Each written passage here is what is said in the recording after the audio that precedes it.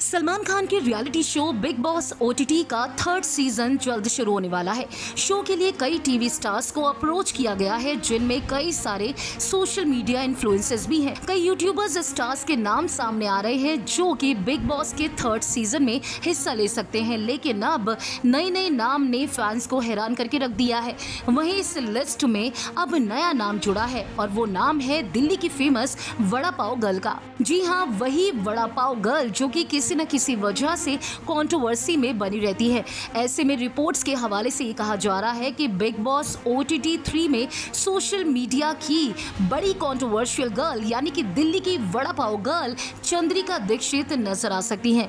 Makers ने चंद्रिका को show के लिए अप्रोच किया है, जिसके बाद वड़ा पाव गर्ल की लॉटरी लग गई है। वड़ा पाव गर्ल का Bigg Boss O T T third season में आना अपने आप में बड़ी बात है। दरअसल बिग बॉस ओ टी को लेकर जो नई रिपोर्ट सामने आई है, उसमें ये दावा किया गया है कि चंद्रिका दीक्षित, यानी कि वड़ा पाव गर्ल को बिग बॉस के थर्ड सीज़न के लिए अप्रोच किया गया है। दोनों के बीच बातचीत चल रही है। अगर सब कुछ ठीक रहता है तो चंद्रिका शो में नज़र आ सकती हैं। हालाँकि मीडिया रिपोर्ट्स में कुछ भी कंफर्म नहीं किया गया। मेकर्स या चंद्रिका की तरफ़ से अभी तक कोई ऑफिशियल स्टेटमेंट सामने नहीं आया और ना ही एंट्री को कंफर्म किया गया है। आपको बता दें, वड़ा पाव गर्ल दिल्ली की रहने वाली चंद्रिका है, जो कि दिल्ली के मंगोलपुरी इलाके में वड़ा पाव का ठेला लगाती हैं।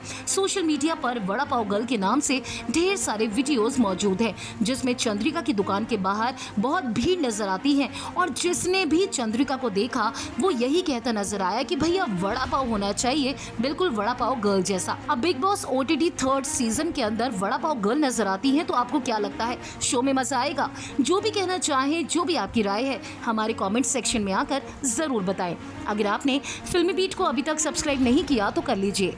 आप हमारा ये वीडियो फेसबुक पेज पर देख रहे हैं तो उसे भी लाइक कीजिए। बॉलीवुड टीवी से जुड़ी तमाम खबरों के लिए आप देखते रहिए फिल्मी बीट